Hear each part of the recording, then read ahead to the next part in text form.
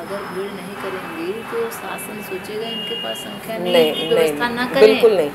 संख्या है तभी तो आज हम चार बस भर के यहाँ से जाएगी। लोग तो हैं जुड़े हुए तो हैं तभी तो वहाँ पहुँच रहे हैं। ड्रेस में रहेंगे क्या समझ रहे हो? पॉलिटिक्स अगर नहीं है बिना पॉलिटिक्स के यहाँ भी नहीं जाओगे। सारे पॉलिटिक्स तो कर रहे हैं। जिस समय आप जहाँ जा रहे हैं खड़ा करने के लिए करना पड़ेगा। इसलिए वो जो सौ पचास सालिट होंगी जो साध्वी होंगी उनको रहना अनिवार्य है। ये मैं अंदर की बात आपको बता रही हूँ। उनके साथ भक्त चाहे जैसे हों।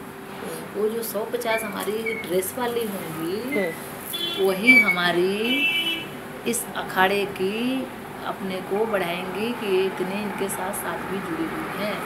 आम महिलाओं से और साध्वी में हो जाएगा चिंतन में लोगों ये और कहीं हम कटौती लगने कर लगता है क्योंकि आजकल ये सब हर जगह देखने को मिल रहा है। तो अगर यही हम भी करेंगे तो फिर ये पूरा फेक में हो जाएगा।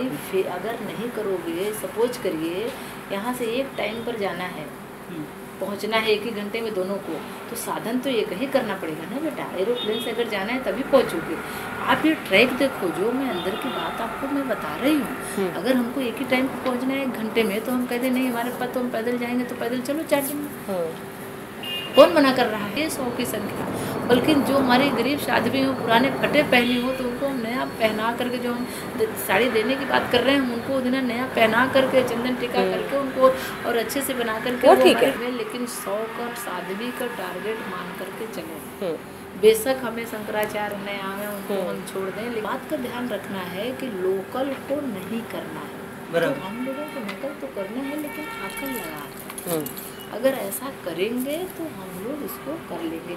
फिर अच्छे लोग ही अपने आप धीरे धीरे जैसे जुड़ते आ रहे हैं जुड़ेंगे तो हमारे वही पर्याप्त जैसे भक्त पर्याप्त हो गए वैसे साधु जैसे ये मिशन खड़ा हो जाएगा पूरी साध्वी आ जाएँगी कोई साध्वी सब रो रही हैं हम्म, अंदर की बात मैं बता रही हूँ। लेकिन वो डर रही हैं कि जैसे पति वैसे गुरु जी जैसे मतलब? पति अच्छा। हम्म, माने प्रताड़ना करने में हाँ। पति जैसे है हम्म, शोषण करने में, हाँ। वैसे ही गुरु जी शोषण कर रहे हैं। हम्म। अब पति से मार खा के चली गई गुरु जी के यहाँ के यहाँ गई उससे भी ज़्यादा शोषण हो रहा है। अब वो तीसरे कहाँ जाए मुझको ये बताओ ये दर्द के लिए मैं ये मिशन तैयार कर रही हूँ। धर्म को शंकराचार्य ने नहीं माना। बौद्ध जी का क्या कहना था? बुद्धि के शरण में जाओ।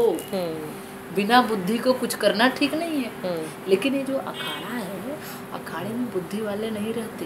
हम्म, अखाड़े मीन्स बिना बुद्धि वाले हैं जो खाली फाड़ा फाड़ा लेकर के सीधे भिड़ जाते हैं। ठीक है? और बुद्ध जी कह रहे थे कि बुद्धि के शरण में जाओ।